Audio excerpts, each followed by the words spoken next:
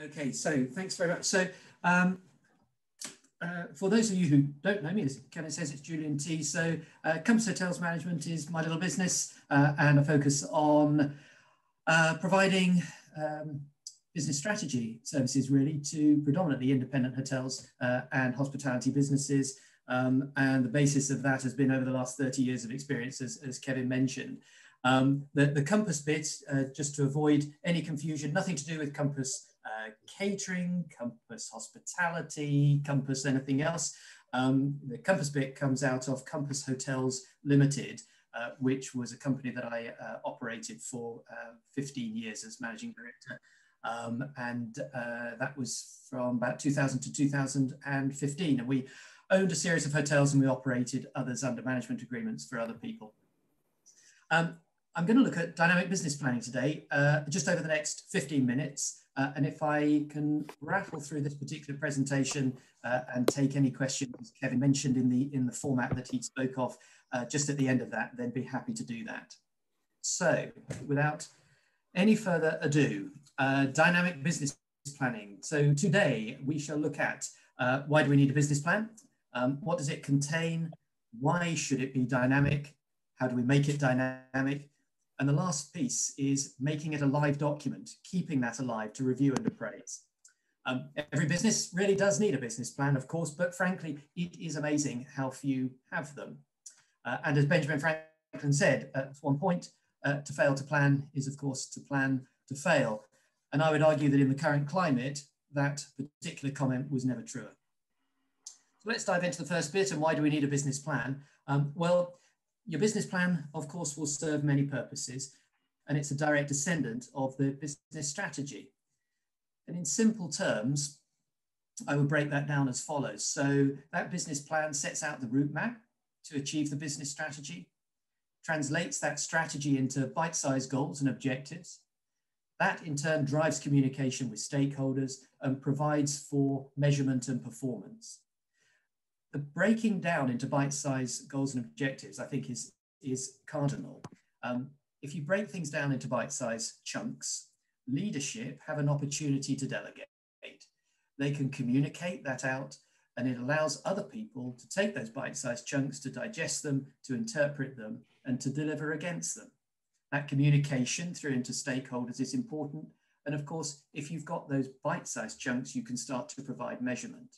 And that measurement is important in normal times, and I'd argue will be important going forward as well.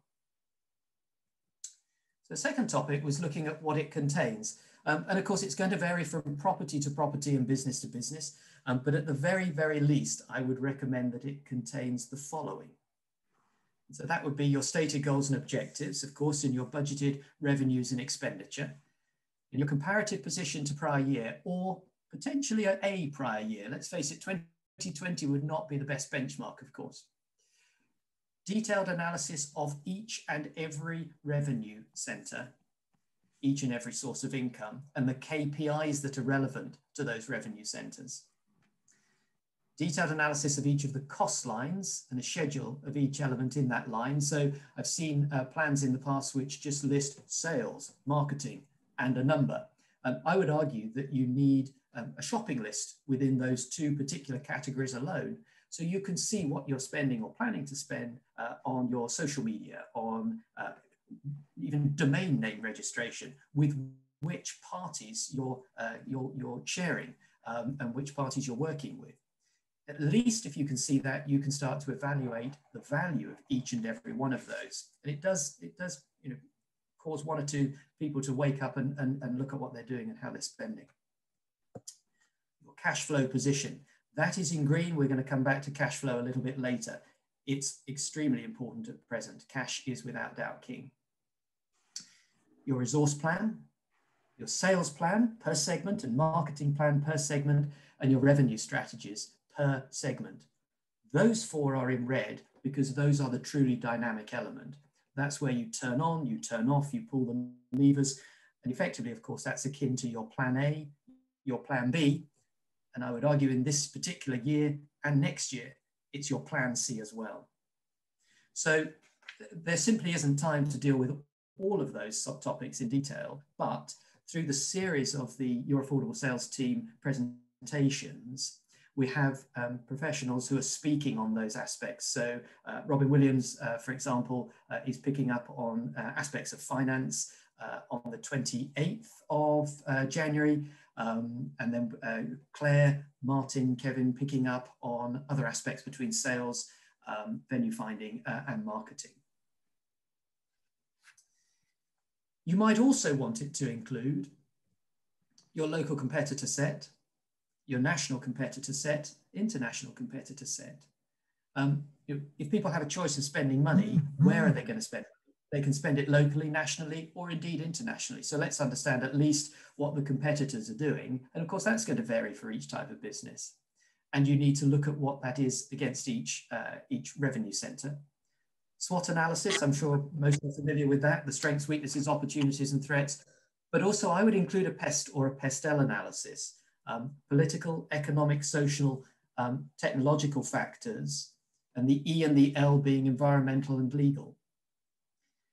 If you can cite that you know the issues that lie ahead and will impact your industry, your market, your locale, that's going to be an important aspect when you're presenting or when this plan is being presented to stakeholders I appreciate that not everyone around the table is going to be uh, involved with putting together uh, a full business plan or indeed presenting a business plan, but a lot of people around the table will influence it, um, and there will be some indeed that need to feed into certain aspects of it. You just dwell on that, on that pest analysis, that PESTEL analysis at the moment. We've got a, an interesting scenario coming up for the 31st of March. We've got debt and rent moratoriums due to end. We've got VAT deferred payments due to end. We've got VAT, I think, reverting to 20%. We've got CBILS and BBL schemes ending um, and business rates relief ending as well. Furlough, of course, carries on until the end of April. But at the moment, and the Chancellor said yesterday he's not looking to review any of those other plans until March itself, that provides huge uncertainty for business. And so again, it's important to reflect that aspect in the plan. But make sure you've got your accreditations that you've achieved and COVID compliance measures. That's important and we'll show why that's important a little bit later on with the associated costs. And finally, if you have an investment plan and any disruption analysis, I would absolutely be including that at this point. So why should it be dynamic? Well, frankly, none of us know what the immediate future holds. And if you find someone who does, if you could put them in touch with me, I'd be most grateful. So your plan has to reflect business uncertainty. Your stakeholders need to know that you've considered that uncertainty. They need to see that you've reflected changes in business circumstances. They need to have confidence in you that you're in control of all that you can be, and frankly, you can't be in control of everything at the moment. They need to be reassured that your customers can trust you. We're back to the COVID compliance measures. How can people book with you? Can they book with confidence? and they need to know that you as a team are on the same page. So with, when you're putting plans together, you need to be asking yourself, you know, does the plan stack up? Um, are my actions defensible? Are my actions achievable? And frankly, do my actions uh, that I'm putting in place, are they consistent with my resourcing and my market position? Think about what you did in lockdown. Think of what you could replicate, what worked and what didn't work, what you could replicate if we have lockdown 4.0, um, or indeed what happens with the tier system. And of course, what might happen in winter 2021 when we get to that point at the end of the year. I'd also argue heavily that your team deserve to know that you've thought about all these aspects as well. At the end of the day, it's your team's livelihoods that are at stake here too. It's not going to be possible to save everybody's job. It's not going to be possible for every business to be saved. But where you are planning, you have a duty as a leader to think about your team. Rose is going to pick up on teams in her presentation later on today, so I won't speak more on that right now. How do we uh, continue to make it dynamic? Well, you'll remember we had those four aspects that were in red. So it's the resourcing plan, it's the sales plan, it's the marketing plan, it's the revenue strategies. It's a fleet of foot approach to those aspects and it's about having a playbook and scenario planning. So back in, uh, I think it was May 2020, uh, Black Sheep Restaurant in Hong Kong uh, produced a COVID-19 playbook. Um, and it, it, went viral effectively. Um, if you don't have a copy of it, it's available online. I would find it, and if not, I can send you a copy of it. But a lot of businesses looked at that and they used that for their own business planning. If this happens, then I will do. If this, then that. Um, and it is an extremely useful way um, to approach business planning uh, for this year and for next year. It at least shows that you've thought about the uncertainties um, that could impact your business and that you're prepared. Think about your sales mix. Any change in sales mix will increase or decrease income. Certain costs can be uh, adjusted, of course, with that, but not all. And you need scenarios that look at that. Show the revenue streams associated with those sales mixes and show your market segmentation and always state your assumptions. Think about your sensitivity planning as well and under, understand the effects of plus or minus a pound on ADR, plus or minus a percentage point on occupancy, plus or minus a percentage point on cost of sales or GP, whichever way you look at it.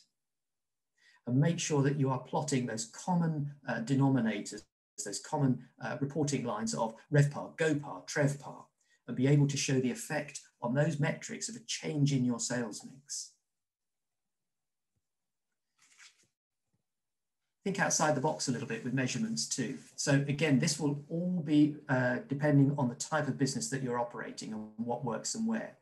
But if you look at your segmentation and you determine the most profitable sources of each revenue stream and focus on that, a laser focus on that, effectively it's Pareto's law, it's the 80-20 principle.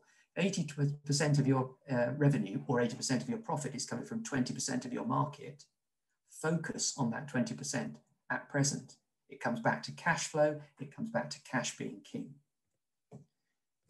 RevPAG, revenue per available guest, F&B wise. RevPASH, this was new to me, RevPASH, revenue per available seat hour. Depends on what type of business you are, of course, but if you're breaking down that business plan into bite-sized chunks and you can measure, then you can break down into these sorts of metrics. These sorts of metrics might show where you need to focus energies. It might allow you to reward depending on, uh, on, on whether it's appropriate for your business or not. But these are useful metrics to look at. And I guess in that respect, you know, know what good looks like. And if it helps, work back from that position. So we're on to the last little bit, review and appraise.